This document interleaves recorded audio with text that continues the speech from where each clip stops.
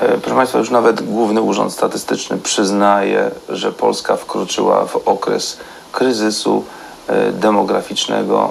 Mm, Właśnie e, tak napisał Główny Urząd Statystyczny w opracowaniu poświęconym sytuacji demograficznej Polski.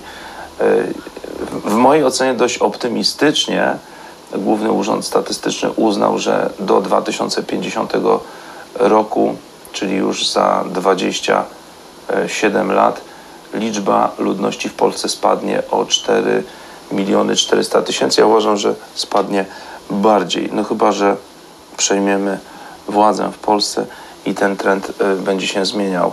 E, Jeżeli chodzi o gęstość zaludnienia e, terytorium Polski, nie jesteśmy żadnym rekordzistą. Są kraje, które mają znacznie większą gęstość zaludnienia w Europie.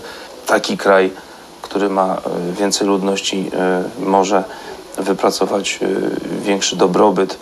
My będziemy jako ruch dobrobytu i pokoju dążyć do tego, żeby, żeby ten dobrobyt był realny, a do tego będą potrzebni ludzie, odpowiednio zarządzana gospodarka i odpowiednio też wykorzystywani w, dobry, w dobrym tego słowa znaczeniu obywatele.